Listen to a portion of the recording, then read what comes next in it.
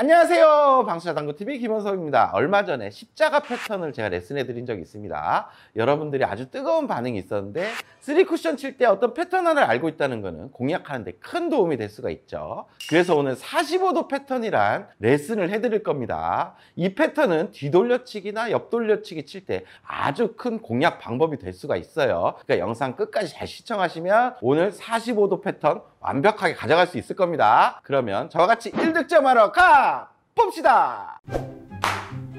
이게 뭐야? 오늘 아정당에서 들어온 돈이에요. 어 이거 설치 당일날 바로 주네 빠르다 빨라 아정당이 원래 빠르죠. 우리 집 인터넷 정수기도 약정 끝나는지 확인해 봐야 되겠다 최대 77만 원까지 주는 거 맞지? 아 이거 알뜰폰까지 그냥 다 바꿔야 되겠다 이거 자 45도 패턴을 배워보고 오늘의 배치입니다 먼저 일접구는 단 쿠션으로 한 칸 반, 장 쿠션으로 두 칸에 교차하는 점에 있어요 이 교차하는 점에 점이 있습니다 거기에 딱 위치해 있어요 두 번째 내공은 마주보는 한 칸 밑에 위치해 있는데 여기도 점이 있죠. 초구 점이 있어요. 딱 대칭돼서 서 있습니다. 자 마지막 이적구는 옆돌리기 치면 원포인트 정도에 도착하면 지금 맞을 수 있게끔 딱 서 있어요. 자 실전에 이런 배치가 온다면 일적구 노란공으로 옆돌리기를 공략을 하겠죠. 아주 쉬워 보이지만 이런 공 빠뜨리면 정말 화납니다. 이렇게들 빠뜨리는 경우들이 있어요. 다친 것 같지만 아이고 이렇게 빠져나가는 경우들 많죠? 자 그리고 이렇게 빠지는 경우들도 있어요. 이렇게 빠지면 진짜 열받습니다.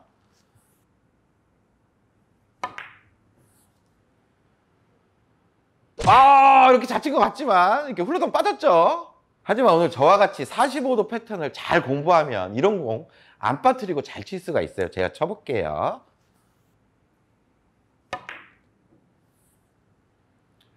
득점에 성공!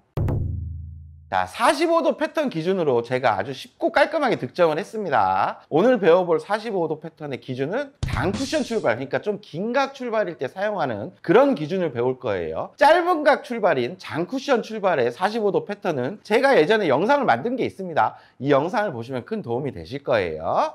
흔히 단쿠션 긴각 출발은 코너에서부터 이렇게 단쿠션 쪽으로 길어지는 쪽에서 내공이 이렇게 출발할 때를 말하는 겁니다. 그렇다면 일적구가 코너에서부터 테이블 중앙에 점이 있죠. 네 번째 점을 있는 선을 그으면 이렇게 삼각형이 만들어지죠. 이 삼각형 안쪽에 일적구가 위치되면 일적구를 맞히고 가는 라인이 대부분 단 쿠션 출발이 될 수가 있어요. 이럴 때 사용하는 방법입니다. 자, 오늘 45도 패턴이라 그랬죠. 단 쿠션 출발에 45도 라인을 찾는 방법은 아주 간단합니다. 1대1로 그냥 포인트를 보고 선을 그으면 돼요. 그럼 코너에서 네 번째 선을 긋는 게 45도가 되겠죠. 그리고 한 포인트 옮겨가면 저쪽에도 세 번째 포인트로 옮겨가는 이런 라인이 되겠어요. 두 번째 포인트에서 두 번째 포인트, one point에서 one point를 잇는 선들이 다 45도입니다. 만약에 중간에서 출발하게 되면 평행 이동을 하면 돼요. 두 칸 반지점에서 출발하면 이쪽에 두 칸 반지점을 있는 이런 라인을 만들면 이것도 45도가 됩니다.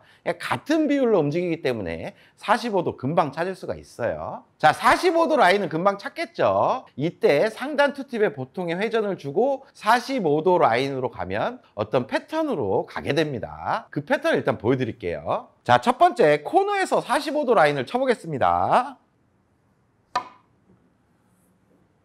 자, 이렇게 one point 근처로 도착함을 알 수가 있죠. 자, 이번에는 한 포인트 이동한 45도 라인을 쳐보겠습니다. 비슷하게 one point 근처로 도착을 합니다. 자, 이번에는 세 번째 라인을 한번 쳐볼게요.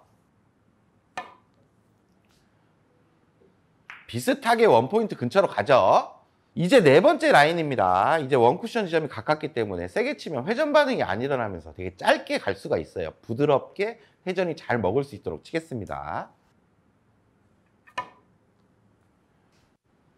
이렇게 쳤더니 비슷하게 원포인트 근처를 향해 가죠. 지금까지 라인이 원포인트나 원포인트보다 조금 짧게 오는 경우도 있었지만 대부분 이 근처로 오기 때문에 득점하는 데는 큰 문제가 없어요. 결론은 일적구가 지금 조건 안에 있고 이런 배치 형태가 딱 떴을 때는 45도로만 보내면 원포인트로 갈 수가 있다는 얘기입니다. 그럼 득점을 할 수가 있다는 얘기예요. 지금은 45도 라인이 이렇게 되니까 여기서 일적구에 맞는 면까지 이렇게 살짝 평행 이동을 하면 요쯤 오면 맞겠네요. 그럼 45도로 갈 수 있도록 쳐볼게요. 회전은 기본적인 상단 투팁입니다. 이렇게 치면 원포인트로 가서 득점이 됩니다. 성공! 그럼 이런 배치도 지금 원포인트에 도착하면 맞게끔 서 있죠. 그러면 일적구 옆에서 45도 라인만 찾으면 됩니다. 지금 두 번째 포인트와 두 번째 포인트에 잇는 이런 45도 라인이 일적구에 맞는 면에 걸려 있네요. 그러면 이렇게만 two tip 패턴으로 보내면 됩니다. 쳐볼게요. 이렇게 보내면 one point에 도착하면서 득점을 할 수가 있는 거예요. 자, 지금 배치를 보면 두 번째 라인과 세 번째 라인 중간에 일적구가 위치돼 있어요. 그러면 가까운 쪽에서 이렇게 평행 이동을 하면 되겠죠. 맞는 면까지 이동을 하면 한 27포인트, 저쪽에도 27포인트 정도 이동해서 45도 라인을 찾을 수가 있습니다. 그 라인대로만 보내주면 one point 근처로 갈 수가 있는 거예요. 제가 쳐보겠습니다.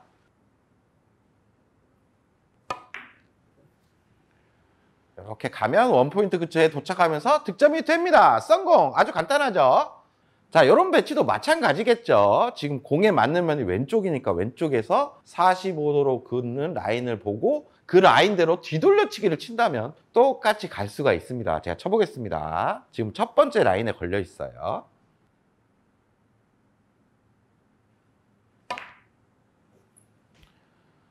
똑같은 형태로 다니죠. 이렇게 득점하는 겁니다. 성공! 자, 이런 뒤돌려치기 배치도 이 패턴을 알고 있으면 쉽게 공략이 됩니다. 지금 맞을 공은 원포인트 근처에 있으니까 공에 맞는 왼쪽 면에서 45도 라인을 찾는 거죠. 1대1 기준으로 찾으면 돼요. 25, 25 이렇게 1대1 기준을 찾으면 45도 라인을 만들어집니다. 거기로 보내면 되겠죠. 이렇게 보내면 one point 근처에 도착하면서 득점이 됩니다. 성공! 45도 패턴을 이용해서 3쿠션의 위치를 one point로 보내는 거 아주 간단하고 쉽죠? 근데 이 방법을 왜 배우냐 하면 3쿠션에서 4쿠션으로 이어지는 연장 라인이 아주 강력하고 써먹을 때가 많기 때문이에요 자 지금까지 one point로 도착하는 걸 배웠는데 one point에 도착하게 되면 어디로 향해 가냐 하면 마주보는 one point를 향해 가게 됩니다. 그럼 원포인트에서 원포인트를 긋는 이런 선이 되지만 굳이 선으로 생각 안 해도 돼요. 요 one point 근처에서 한 요만큼 요 근처 이만큼 범위에 떨어지게 되면 마찬가지로 반대편에 어떤 요런 범위 안에 떨어지게 돼요. 그럼 확률적으로 좀 더 쉽게 득점할 수가 있겠죠. 그렇다면 지금 배치도 one point에 도착한다면 매우 높은 확률로 이적구를 맞출 수 있음을 알 수가 있겠죠. 1적구에서 45도 패턴만 찾아내면 됩니다. 두 번째 라인, 요 세 번째 포인트와 세 번째 포인트를 잇는 그 라인에 공이 걸려 있네요. 45도 패턴으로만 보내보겠습니다. 이렇게 보내면 one point 근처에 도착하면서 대칭되는 one point 쪽으로 오죠. 그럼 이렇게 확률 좋게 득점이 되는 겁니다. 성공! 그렇다면 이런 배치도 동일한 배치가 될 수가 있겠죠. 이런 배치에서 길게 공략하다가 일적구가 많이 움직여 다니고 이쪽에서 키스도 나고 막 그럽니다. 그렇다면 45도 패턴으로만 가볍게 분리해주면 일적구는 그냥 또로로 굴러서 이쪽으로 오겠죠. 그러면 키스도 없고 안정적으로 득점을 할 수가 있는 거예요. 그럼 45도 라인을 보자면 두 번째 라인에 걸려 있네요. 이 라인대로만 two tip 회전으로 가볍게 보내보겠습니다. 이렇게 보내면 원포인트 근처에 도착하고 이적구를 향해 가죠. 키스도 없죠.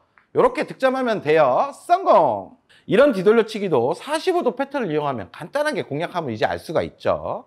첫 번째 라인에 공에 맞는 면이 걸려 있습니다. 그 라인대로 보내볼게요. 이렇게 보내면 원포인트 쪽에 가면서 연장 라인에 확률 좋게 득점이 됩니다. 성공! 자, 이런 배치도 45도 패턴으로 칠 수가 있겠죠. 쳐볼게요. 두 번째 라인입니다. 이렇게 치면 원포인트 도착하면서 쉽게 공략이 가능합니다. 성공!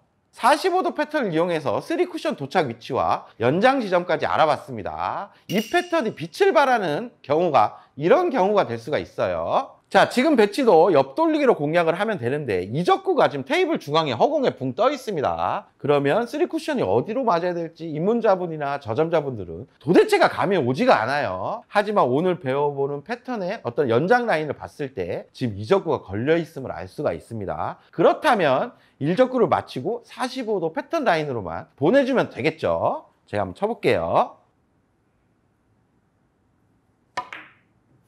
이렇게 보낸다면 원포인트에 맞으면서 연장 라인에 가서 득점이 됩니다. 성공!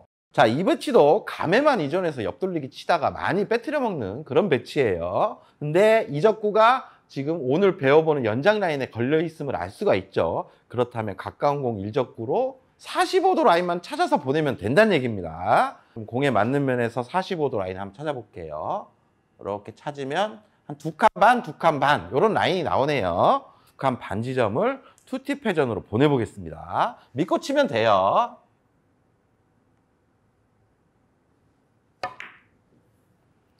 이렇게 치면 one point 근처에 도착하면서 연장 라인에 걸려서 이렇게 득점이 됩니다. 성공! 간단하게 칠 수 있어요. 45도 패턴의 연장 라인을 이용해서 허공에 뜬 것까지 아주 고수처럼 부드럽게 굴려서 잘 맞출 수가 있었습니다. 근데 이적구의 위치가 뭐 조금씩 바뀐다면 조금 길게 보내야 되고 짧게 보내야 되고 뭐 이런 상황들이 있겠죠. 그리고 그 상황마다 연장 라인이 좀 달라질 수 있습니다. 그 응용까지 이제 해볼게요.